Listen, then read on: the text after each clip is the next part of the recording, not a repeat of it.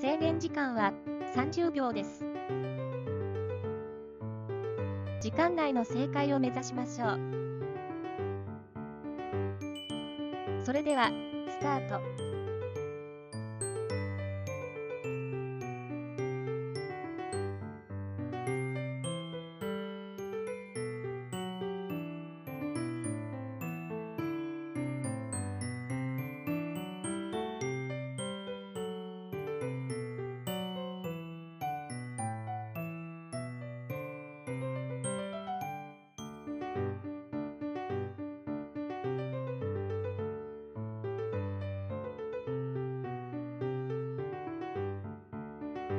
わかりましたか？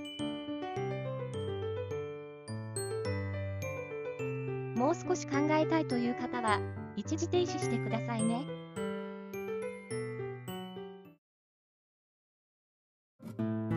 では、正解です。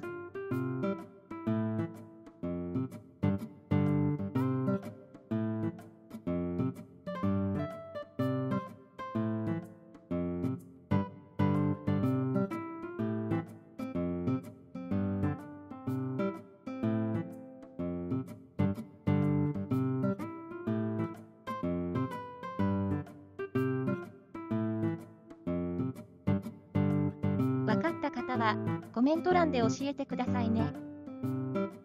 最後までご覧いただき、ありがとうございます。チャンネル登録をお願いしますね。